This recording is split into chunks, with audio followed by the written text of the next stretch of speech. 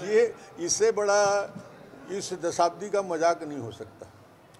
इससे बड़ा जोक नहीं हो सकता जो मुख्यमंत्री ने बयान लगाया।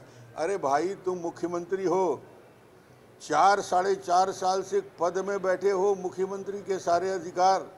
बार बार में एसआईटी का गठन, हर पंद्रह दिन में एक नया एसआईटी का गठन करने वाले मुख्यमंत्री हो। छः साल विपक्ष में बैठ के क्या करते रहे? दस साल कुंभकर्णी नींद में सोए थे क्या? दस साल में तुमको होश नहीं आया कि शराब में एक रुपया का भी घोटाला है? अरे, एक रुपया का भी भ्रष्टाचार यदि प्रमाणित होता तो ये क्या दस साल तक नींद में सोए रहते कुंभकर्णी निंद्रा में?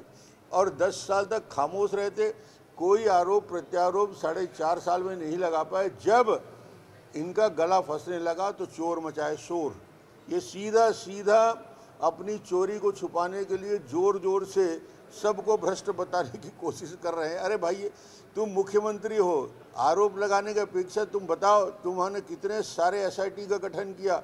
और ये प्रमाणित मामला जब न्यायालय में पहुँच चुका है, हलचल तेज हो चुकी है, भ्रष्टाचार आकंड सिर तक चला जा चुका है।